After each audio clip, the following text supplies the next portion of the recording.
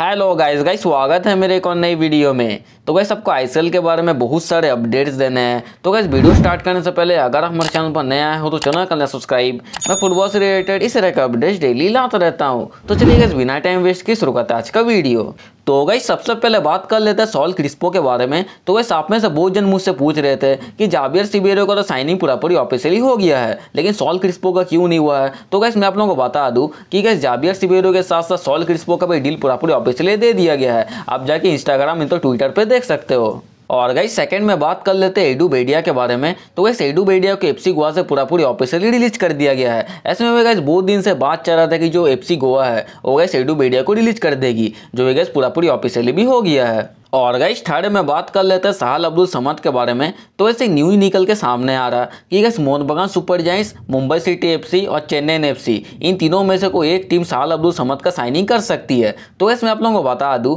कि गैस साहल अब्दुल समद को तो केरला ब्लास्ट एफ़ भी छोड़ना चाहती है। लेकिन गैस एक ह्यूज ट्रांसफ़र फ़ी का बदौलत। मतलब गैस अगर ट्रांसफ़र फ़ी अगर कोई भी क्लब अगर देती है ना गैस केरला ब्लास्ट एफसी को, तब gas Kerala blast F C Sahal Abdul Samad को दे देगी। अब देखो गैस इसके बारे में क्या होता है। और गैस सबसे लास्ट में बात कर लेते हैं महेश सिंह नावरम के बारे में तो वैसे आप लोगों को तो बात मालूम होगा कि गैस इस सीज़न महेश सिंह नावरम का परफॉर्मेंस कितना ज़्यादा अच्छा था यार। इसीलिए गैस मुंबई सिटी एफसी और मोहन बगान सुपर जायंट्स, इन दोनों टीम्स ने बहुत ही ज़्यादा अच्छी खासी ऑफ़र दी है महेश सिंह नावरम को अपनी टीम में शामिल करने के लिए। और गैस मैं आप लोगों को बता दूँ कि गैस ईस्ट बंगाल एफसी के साथ जो महेश सिंह नावरम का कॉन्ट्रैक्ट है, वो गैस दो तक है। इसलिए गैस एक ट्रांसफ़र फ़ी तो देना ही पड़ेगा। अब देखो गैस इसके बारे में क्या होता है। बस सही बोल रहा चलो मिलते हैं इसके नेक्स्ट फ़िल्म में किसी नेटवर्क के साथ। अब तक के लिए जय हिंद, जय भारत।